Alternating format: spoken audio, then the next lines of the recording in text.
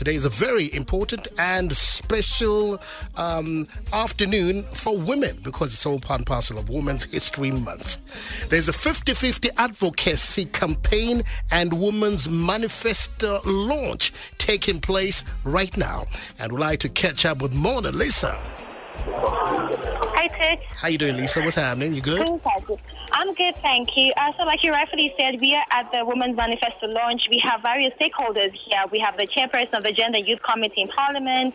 We have the Gender Equality in Zimbabwe our chairperson. We have a lot of women stakeholders here. But with me right now is uh, Tanja Lubbers, who is the regional director of HIVOS Foundation, who are the funders of this conference. Hi. Hi, hi, nice to meet you. Thank you so much. Okay, so one of the key areas that have been discussed this afternoon, this morning rather, is the issue of women representation in Parliament.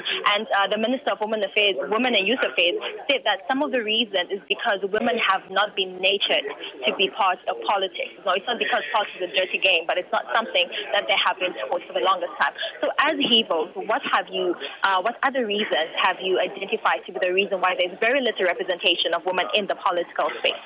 I, think the nurturing is indeed a very important one. Also, the Speaker to Parliament said that his mother played a main role, for example, by just being the role model and showing that women can lead.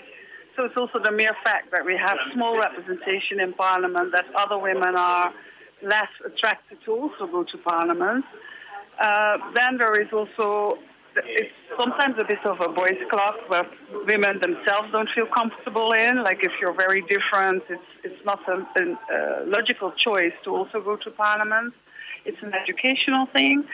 Uh, that's also, of course, nurturing. But in, in schools, like how many girls are really told like you can be a politician? And imagine if girls would be told like politician is a nice career for you.